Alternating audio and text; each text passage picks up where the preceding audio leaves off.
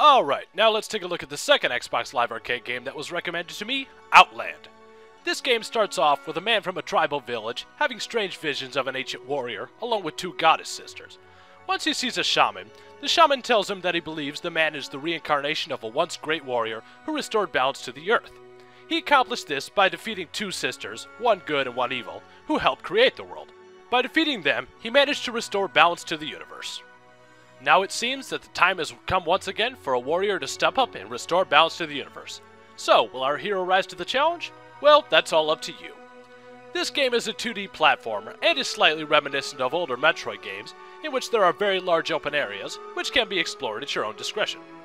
Upon exploring these areas, you will find many enemies who will hinder your progress. Killing these enemies is simple at first, but as you progress through the game, it becomes much more difficult. The only weapon you have at your disposal is your sword, you may use this sword to attack either on the ground or in the air, to side slash, uppercut, or stab downward, along with being able to attack on ladders.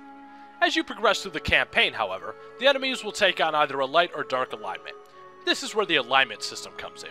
While fighting a dark aligned enemy, you need to switch your character to the light alignment, and vice versa for the light aligned enemies.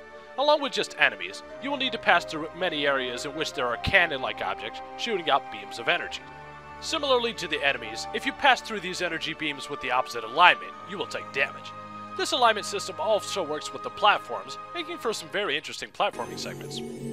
While exploring many of the areas, you will find bases which give you gold. Gold can be used as certain statues in order to raise either your hit points or energy points. The HP in this game is similarly set up to the Zelda games, in which your health is in hearts.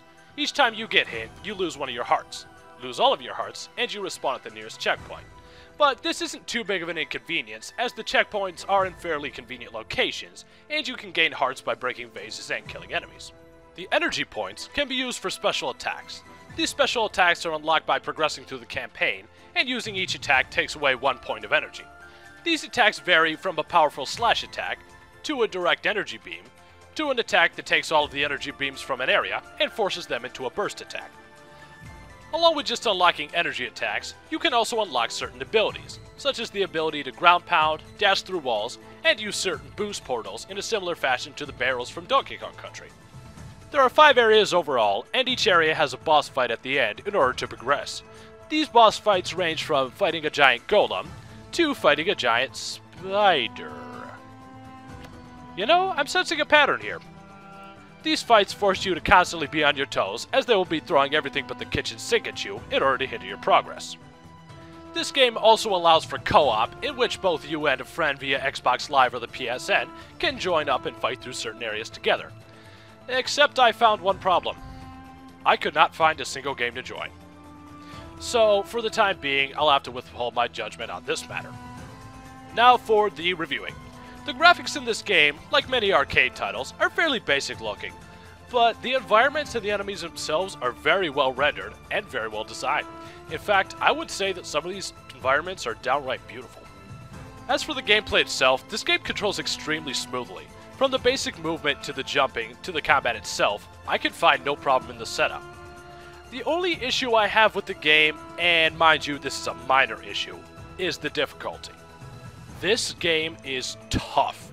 The amount of enemies on screen at any given time, mixed in with the fact that there will be multiple waves of energy at any given time, will ensure that you will have to be extremely quick on your trigger finger in order to ensure that you are of the correct alignment so that you don't get your ass handed to you.